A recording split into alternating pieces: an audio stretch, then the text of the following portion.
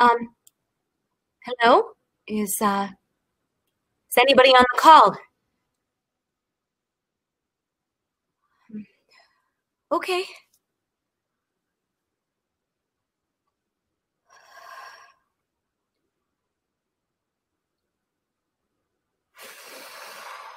Oh, God. Oh, God. Okay.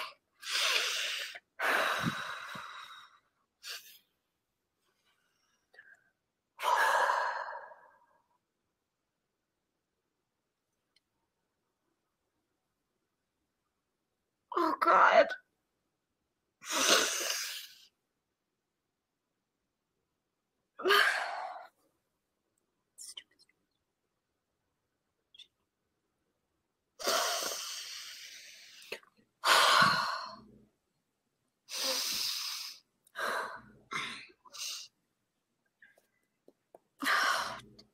Um, hi. Oh, shit. Um, I'm, I'm my God, I'm so sorry. I, um, no, no, don't be sorry. You're, you're fine. You're, you're, uh, supposed to be here.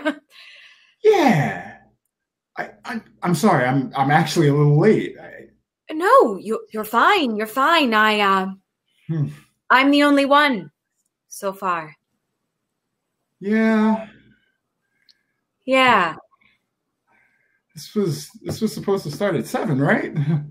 Um I, I think, but uh Geena's the one who told me the time, so Oh. Oh. oh. Um, Roy listen, um I don't want to burden you with anything. I mean, Yes. you are new to the group Oh. and Oh, wait, sorry, sorry. I think that I think that there's a delay. oh. Oh. Um Well, I was just saying that uh, maybe there's some stuff you should know about us all. There's just um, Hmm. there's some tension between Geena and I right now. Oh. Oh. Yeah, it's um, it's just a long story. Yeah. I I kind of sensed something during the last meeting, actually. Yeah, um, but don't worry about it. I'm I'm sure it's going to work out eventually. Okay. Maybe. Well, I'm rooting for you. Thanks. Um, can I just can I just say something? um, sure. I personally think you should just let the truth out. It'll be much better that way. What?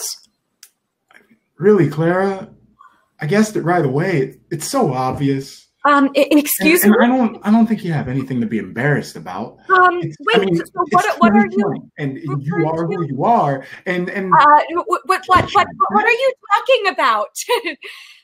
you're you're really into Allison. It was like it was like billboard obvious. Just be open about it. I if there's tension, there's tension. But it's it's better to just live your truth and have everybody know. oh well. Um, yes, yes. I am really into Allison. um, people. Uh, people know that actually. Oh. Well, great. oh. Then there must mm, there must be tension because of the other thing you're hiding then. Um, w- what other thing? That you're a ghost. W- What? Oh, yeah, yeah, yeah. Um, when you were telling your story about the Pittsburgh Playhouse ghost, it was pretty clear you were talking about yourself. So I took a screenshot and yeah, you have an orb. oh, I have an orb. Yep. Orbs don't lie. Every ghost has one. I didn't know my orb would show up in screenshots. Yeah, it does, which is something to keep in mind for future reference. Thanks.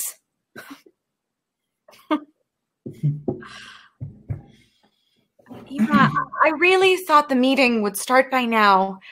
Allison said she was going out for a walk, but she's not back yet, and she's not answering my texts. And uh, Geena's not talking to me, so I don't know what's happening. I, I just, um, I feel so alone. Well, we we could just start the meeting without them. Oh, you you, you think that would be okay? yeah, why not? I actually have a ton of questions for you. I I've never interviewed a ghost before. oh, well, cool. I've um I've never been interviewed by a ghost enthusiast. I'm I'm actually so glad that this is this is out in the open now. I've I've been dying to talk to you about about ectoplasm and, and history and existing outside the spatio-temporal plane. It's oh shit. Well, uh, fire away. Actually, actually, can we move this to Google Hangouts? Live webinar isn't really my favorite format. You know what? Me neither.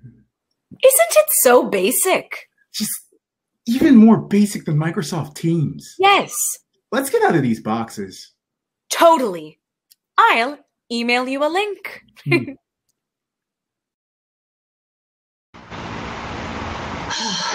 oh, thank God she's gone.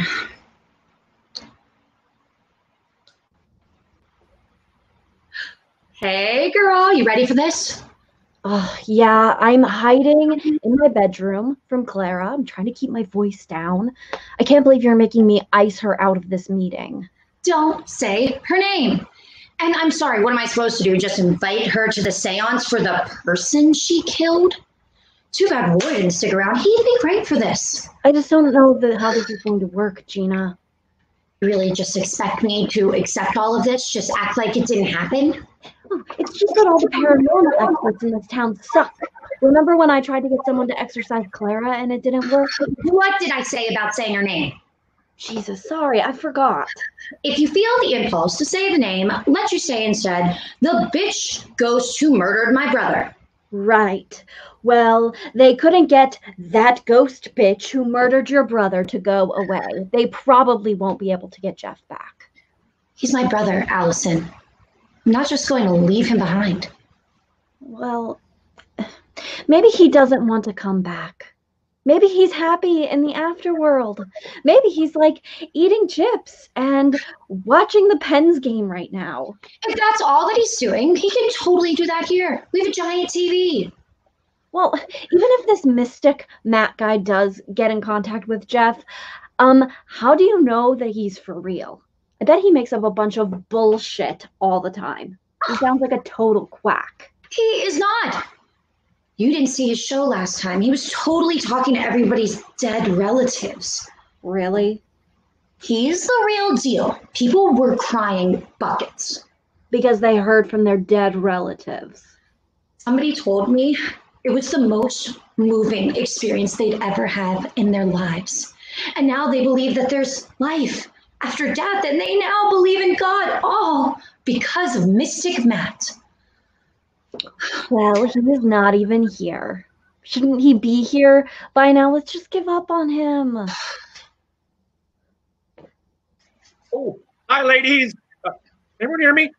This is him. He doesn't look like a fortune teller. What? Sorry? Oh, that's that's not Mystic Matt. That's Josh. He's our new recruit. Excuse me? You added another member of Yinzer Scared and didn't tell me. Shouldn't we have held a vote or something? Allison, we need to have three people to make a quorum. Roy ditched the chat, and it's not like Rachel's coming back anytime soon now that she's in LA having a fancy modeling career.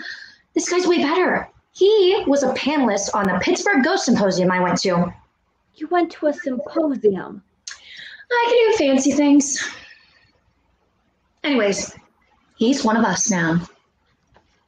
Happy to be part of the gang. So cute.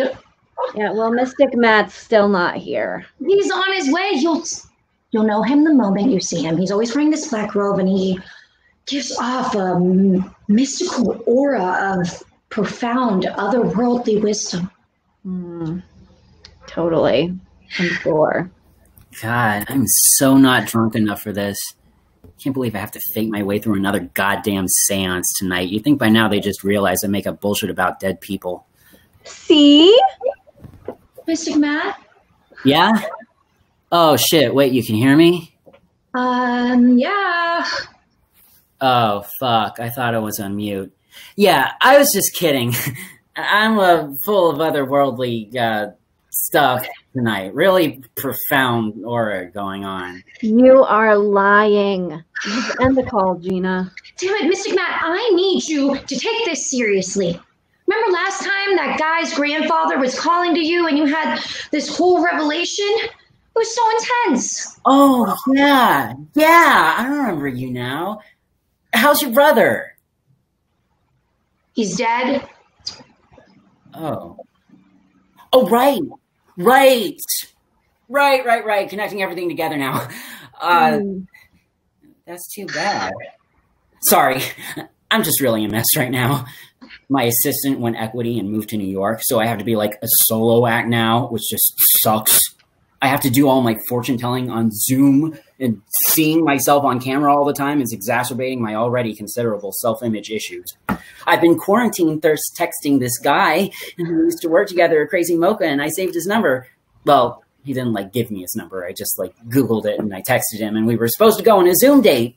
Well, it's not supposed to be like a date date. He was just supposed to join this call and cast the show and see how awesomely cool I am. And then maybe we could go into a breakout room and talk about other things. But he totally ghosted me. I got fired from another day job. They're going to shut off my lights. And I'm totally questioning my artistic purpose because I haven't felt creatively inspired for like a year. And Oh my God.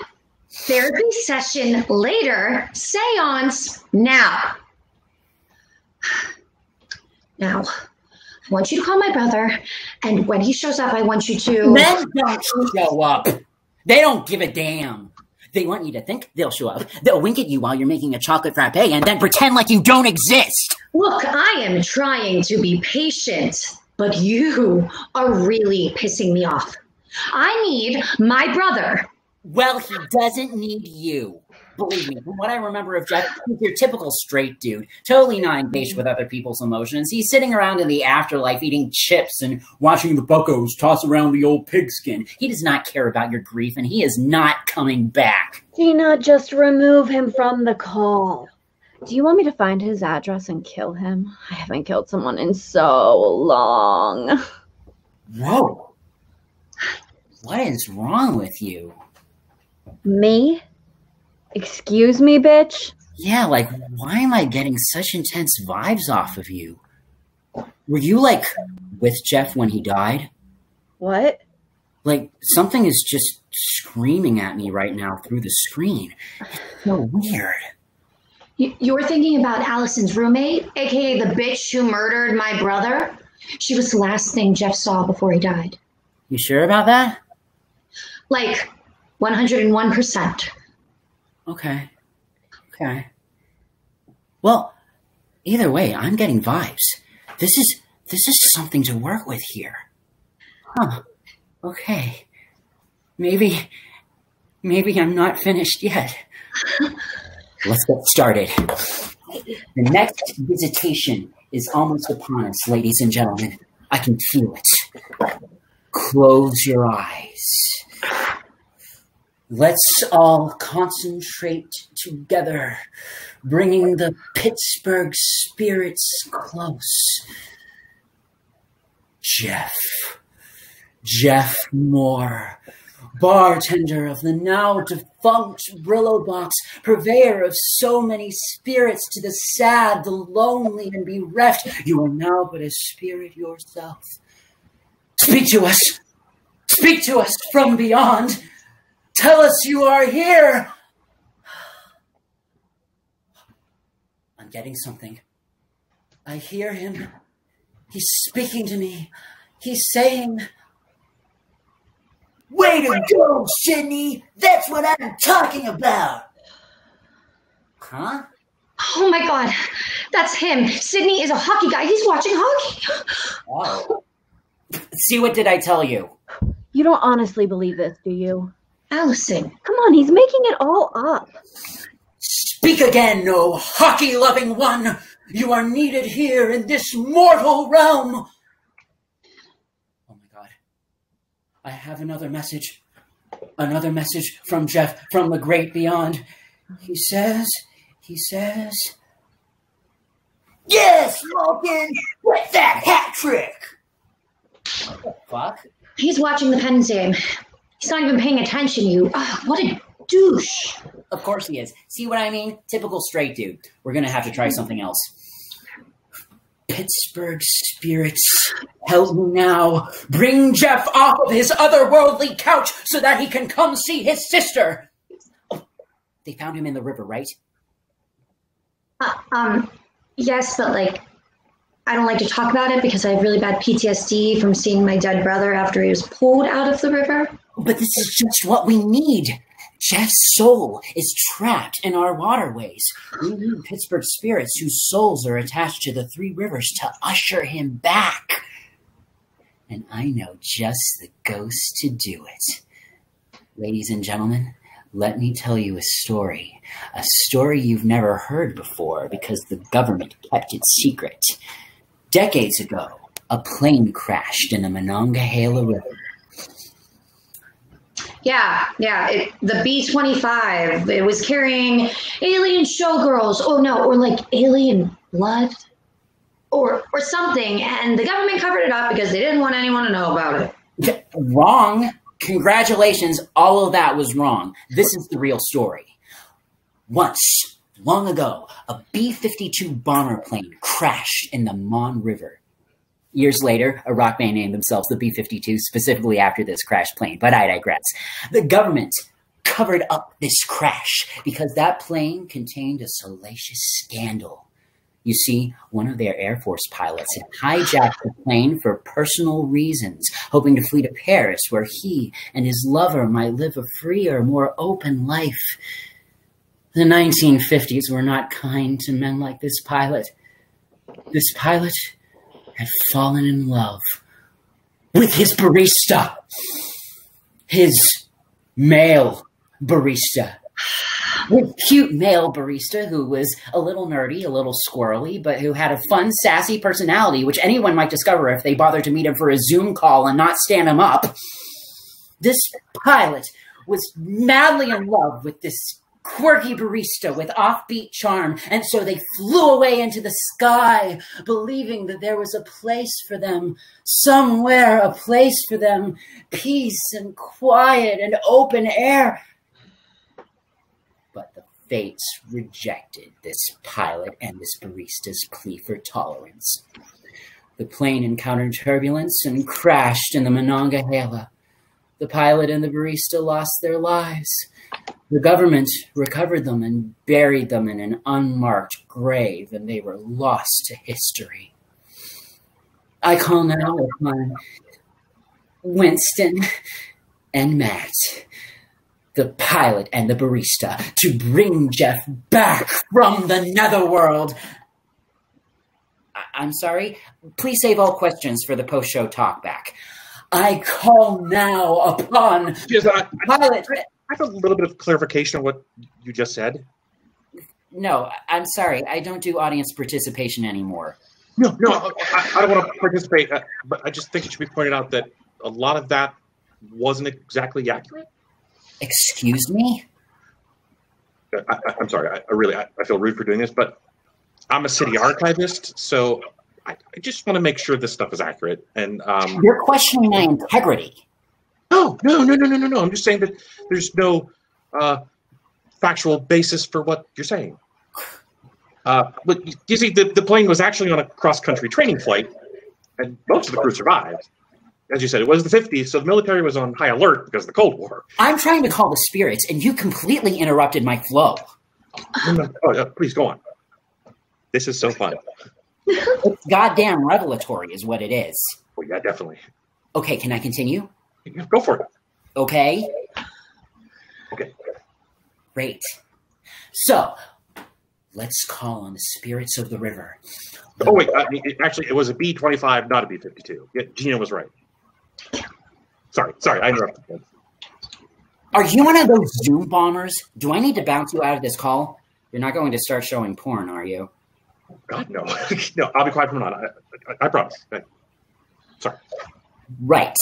Well, since the B 52, sorry, B 25 story is ruined, let's move on to another story of a river spirit who may help us bring Jeff back from his watery afterlife.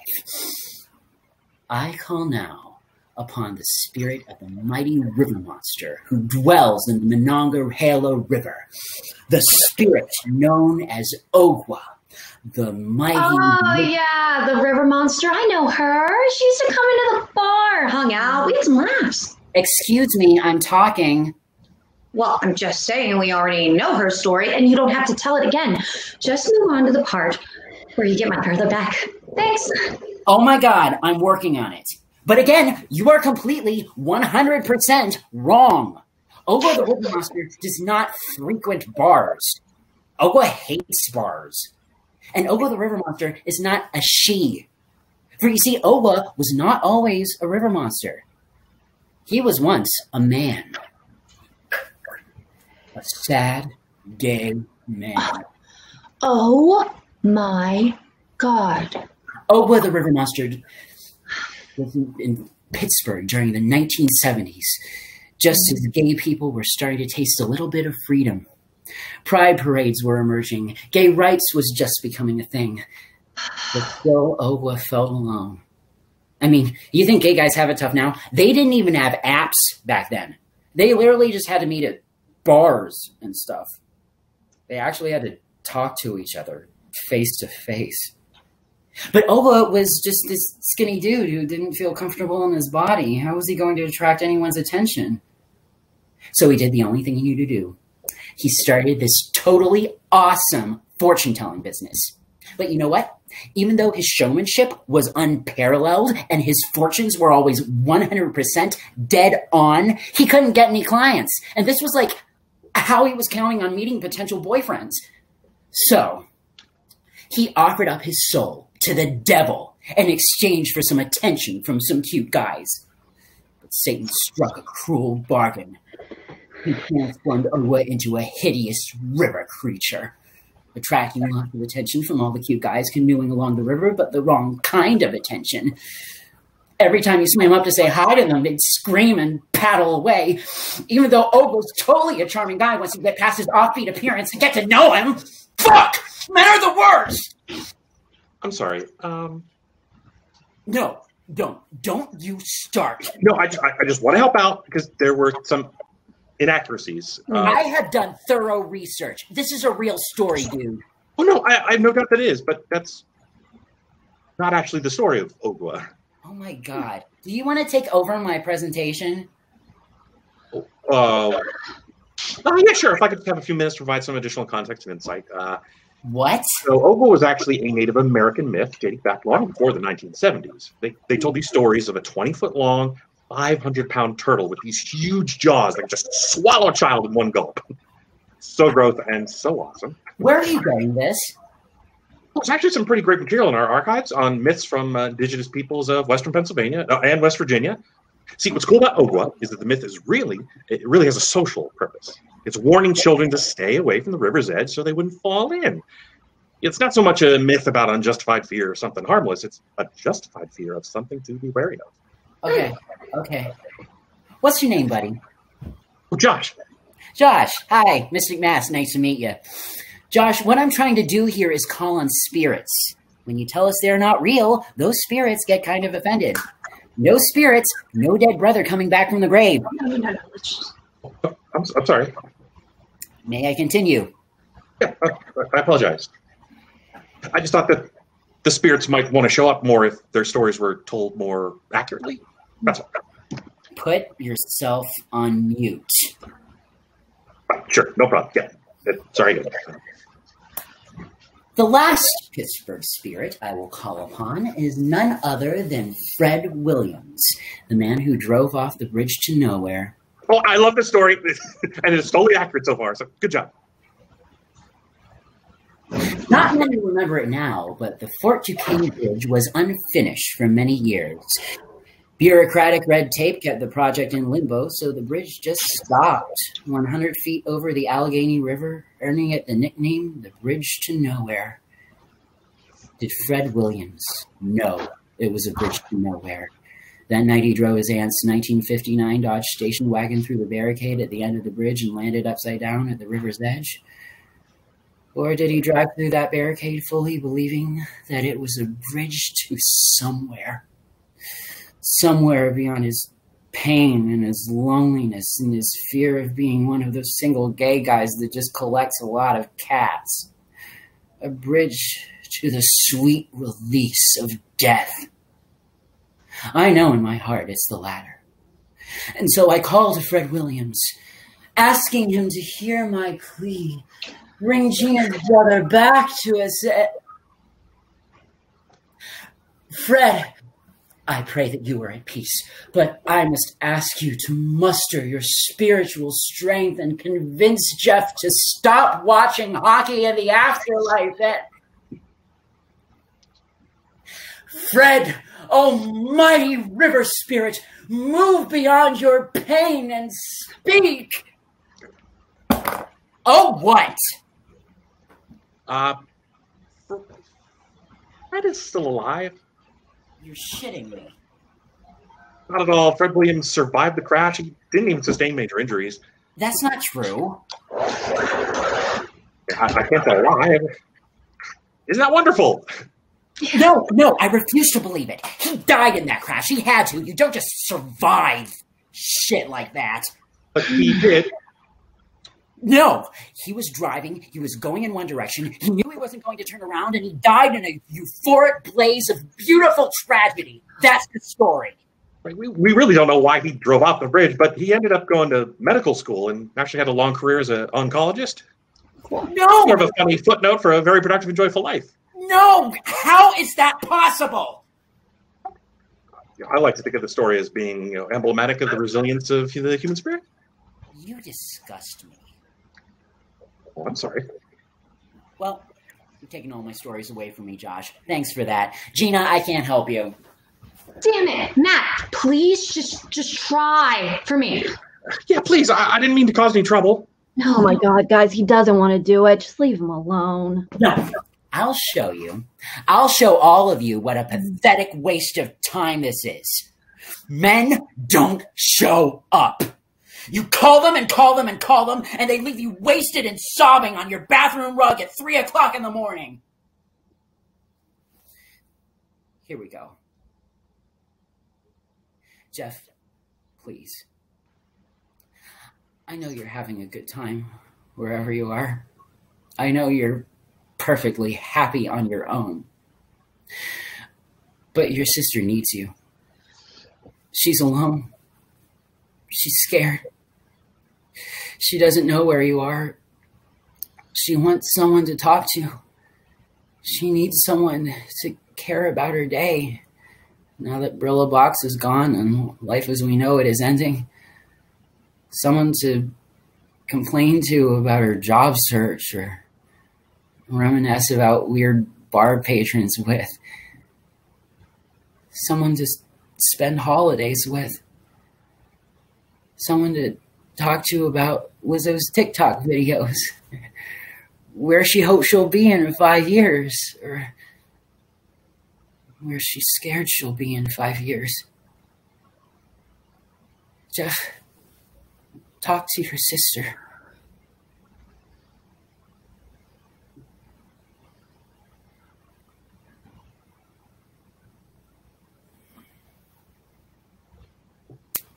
Right.